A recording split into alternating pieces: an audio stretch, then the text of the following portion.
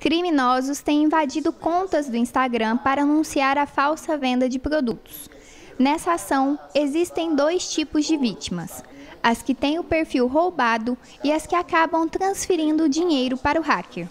O professor de Ciência da Computação da Unifenas, Celso de Ávila Ramos, nos conta quais são as brechas que os golpistas acabam utilizando nesses casos. O processo do, do golpe ele não é imediato, né? ele requer tempo. Né? O golpista ele é paciente, ele ganha confiança da vítima antes. Né? Muitas vezes é, clonando um perfil de, de um usuário e se passando por aquele usuário entre os amigos, entre os seguidores desse usuário. Né? é, oferecendo é, produtos que não existem para compra, é, solicitando depósitos em conta. Os golpistas geralmente se passam por amigos e pessoas próximas para ganharem a confiança da vítima. Bruno teve sua conta do Instagram hackeada após receber um link do perfil de um amigo.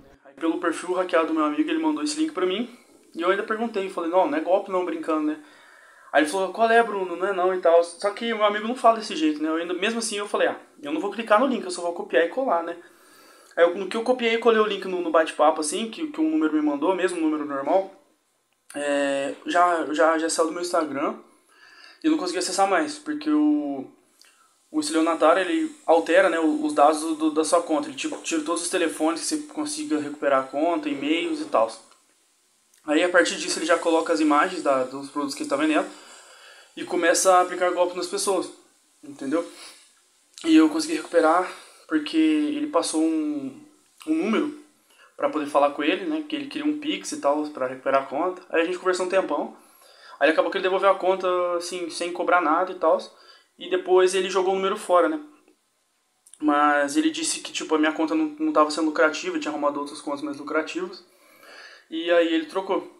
É, a brecha é a popularidade do próprio aplicativo tá? e a utilização das pessoas que estão sempre aí buscando algumas facilidades né, que não existem, é, falsas promoções, é, e aí você precisa clicar em algum link onde você precisa fornecer dados é, mensagens falsas, de, seja de direct, seja no próprio WhatsApp, né, falando que a, a, conta vai ser bloqueada por algum motivo e, e você precisa alterar a sua senha. Né, então a pessoa clica no link, vai lá, fornece a senha atual, fornece o nome de login. A pessoa que teve a sua rede social invadida deve realizar alguns procedimentos.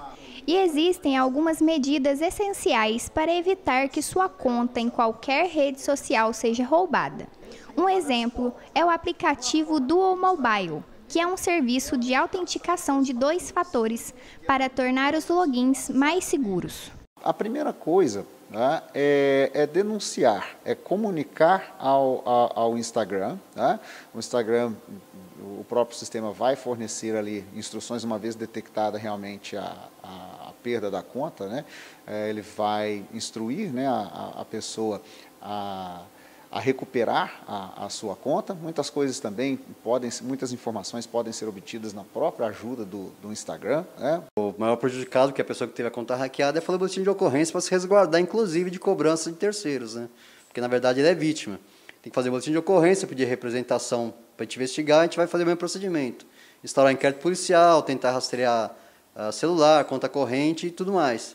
E comunicar imediatamente todos os contatos. Ó, estão usando meu o meu Instagram, o meu WhatsApp para fazer esse tipo de, de negócio, eu não estou vendendo nada. Né?